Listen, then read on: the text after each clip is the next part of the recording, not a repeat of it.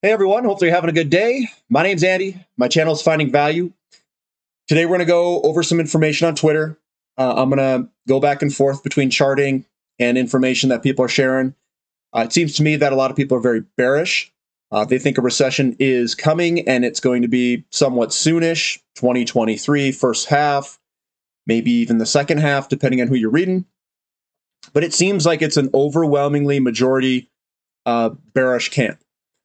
Uh, we do have a inverted yield curve, uh, but I'm not entirely bearish as much as most of these other people. I think things can still happen between now and whenever an event comes, which means we could see a bunch of upside on on things still because generally what happens if you were to look through the progress of things is the Fed funds rate goes up. That's generally when oil, uranium, uh, all these different commodities from a liquidity cycle. So liquidity comes into the system, it creates inflation, and then the the Fed the Federal Reserve chases that inflation higher. It tries to to slow it down through increasing of interest rates. And generally, what happens is you get this increasing cycle, and it's been a pretty fast increasing cycle, faster than anything I've seen um, before. Then they're going to pause at some point, and that pause could be eight months or a year plus. It depends on how strong the market is. Now, here's, here's the problem. I think the market is way stronger than what most other people think. Why do I think that? Because we're in the middle of a housing, we're, we're in the middle of a housing boom where the interest rates went up so fast, it basically froze or stalled the market out. That, that's my opinion there. But when you're in the middle of a building construction cycle, you're in the strongest portion of the cycle. And yes, prices are coming off their highs. Completely understand. The affordability has been absolutely trashed with the increasing interest rates going to the level that they did in terms of the percent increase of interest rates.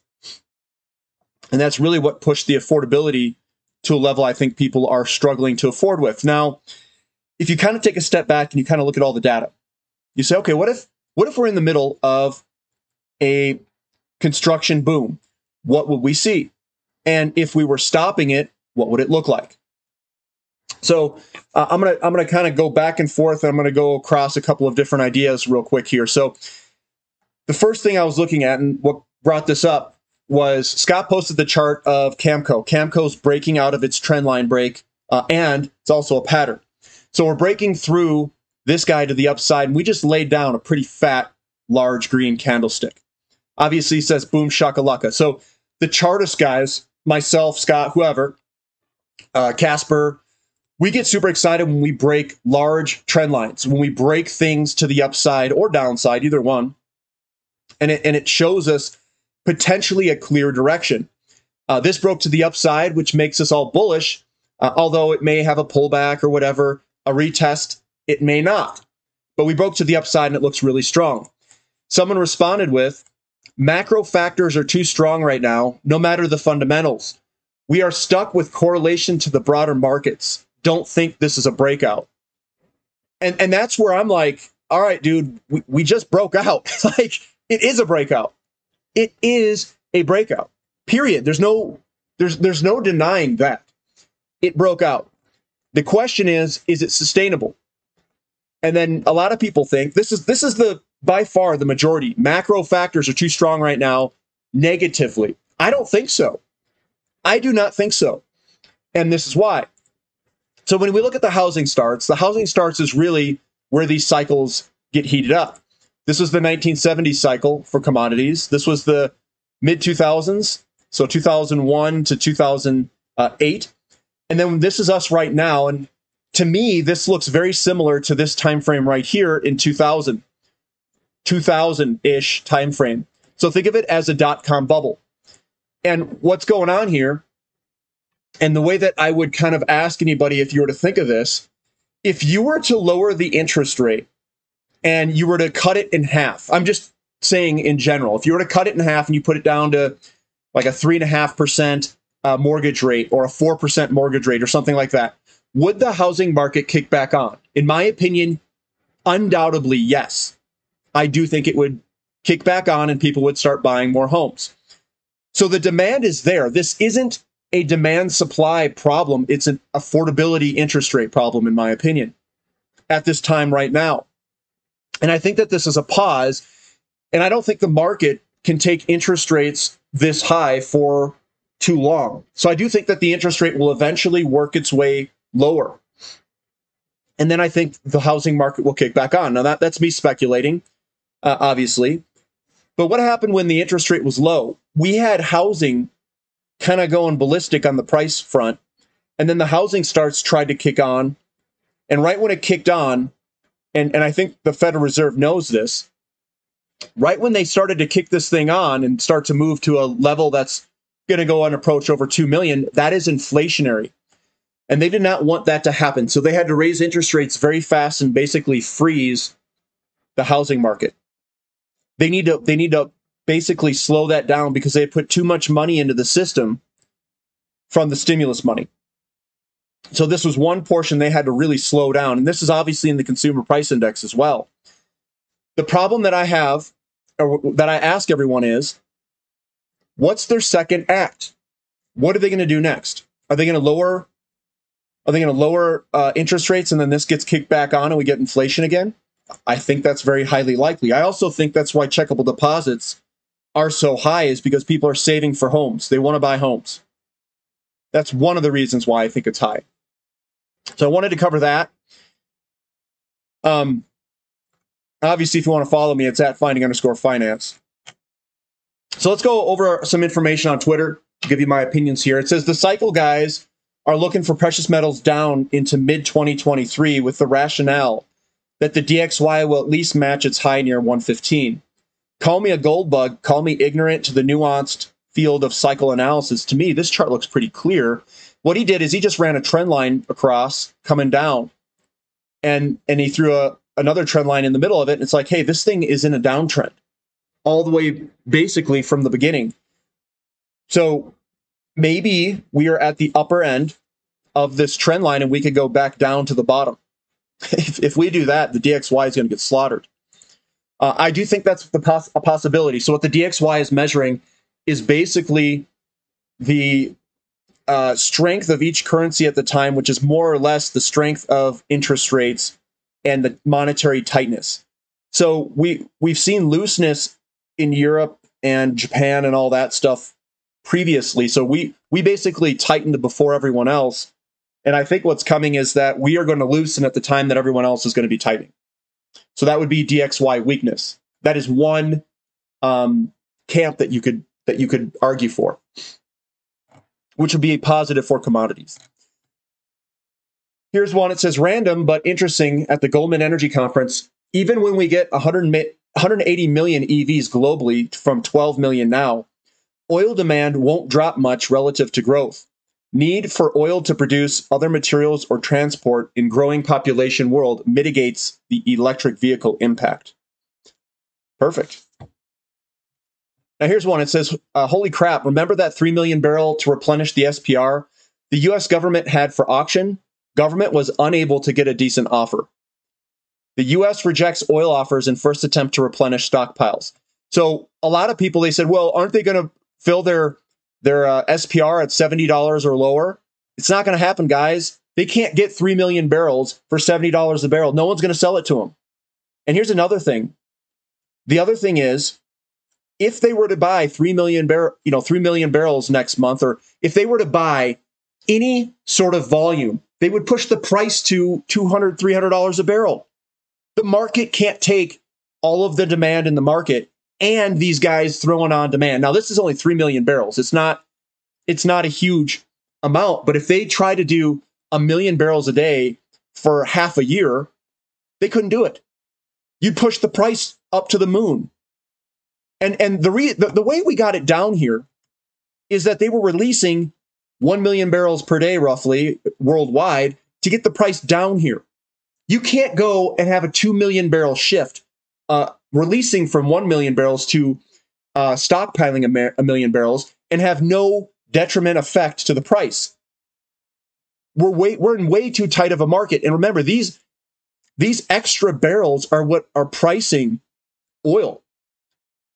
oil would be at $150 a barrel if you were to suck out all of that commercial inventory and take it out.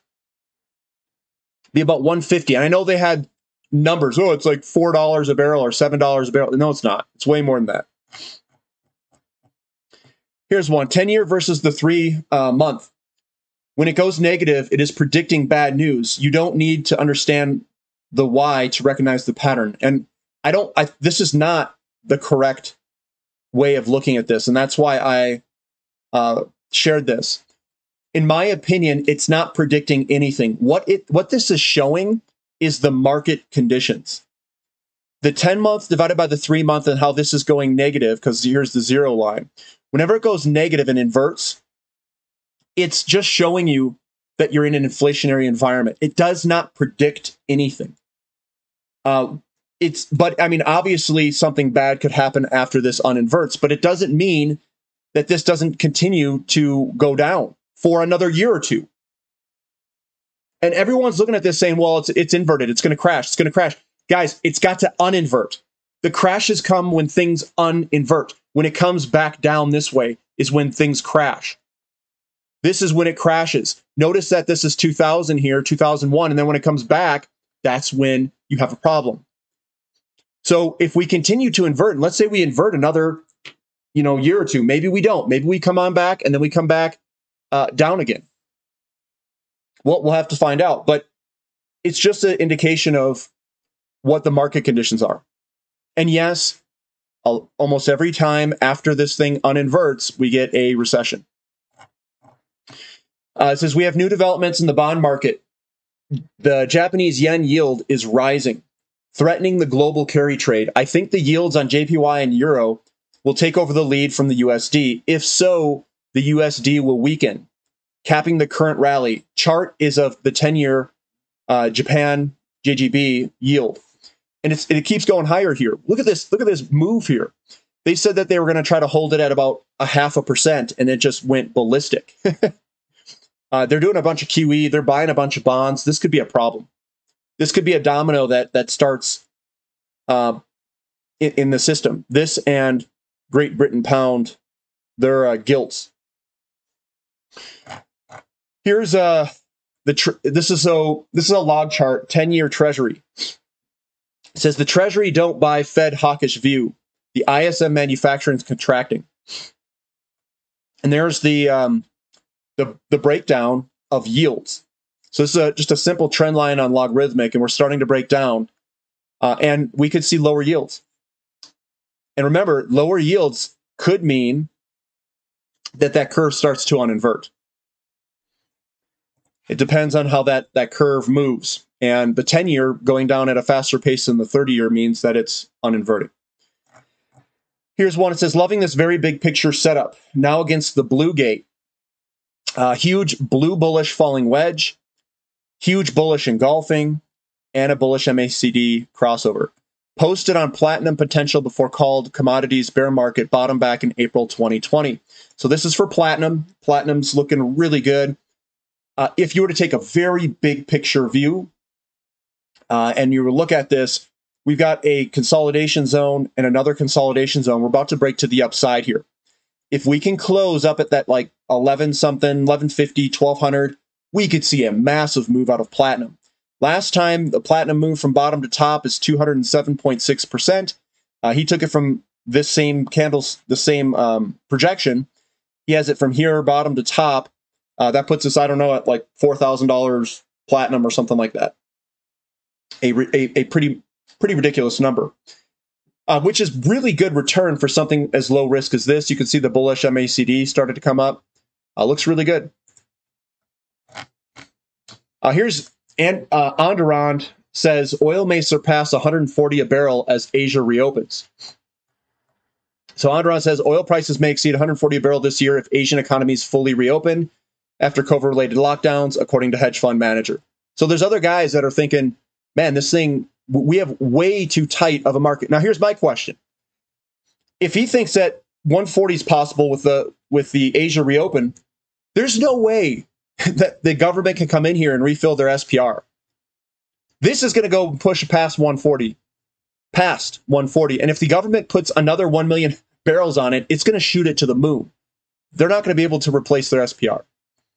Uh, here's me posting. It says, uh, gold doing well. My boy Platty holding it down today. Uh, gold breaking out to the upside here. We had a little, little ascending um, wedge going on, and we broke to the upside. Very strong there. We also have platinum. It had a little consolidation, moving higher with the bullish engulfing that just formed last trading session. Very bullish for both of these metals. Lots of opportunity there, guys. Lots of opportunity for investment, uh, either in the physical metals or in those sectors. Uh, here's copper. Copper strong like bull. Uh, we had a nice strong move Friday, breaking out of this resistance line to the upside. We could see a big move out of copper. Now, all of the crash people, how is copper moving higher?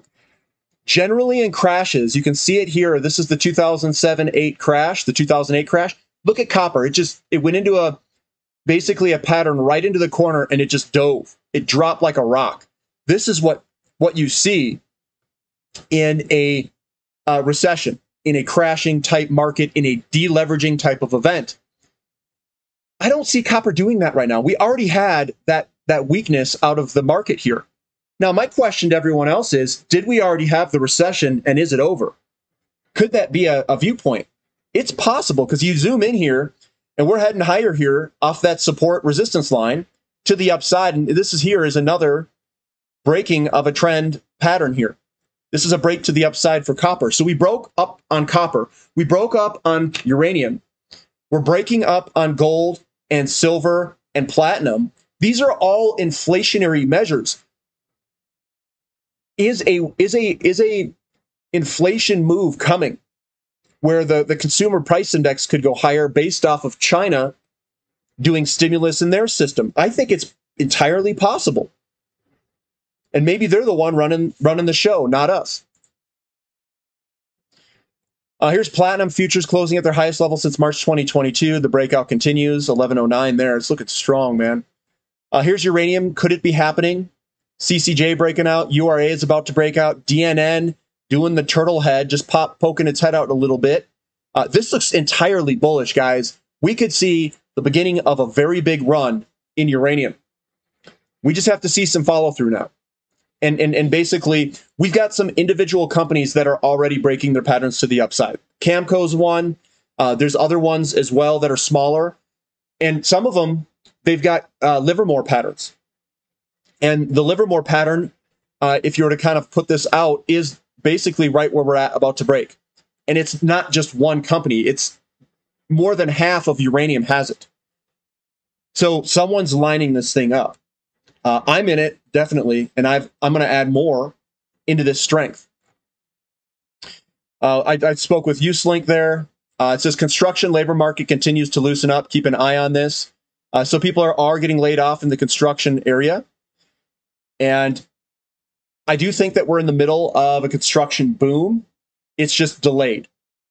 The interest rates and affordability are delaying it. So we're going to see weakness until the interest rates come back down. U.S. petroleum inventories and million, millions of barrels straight on lower there.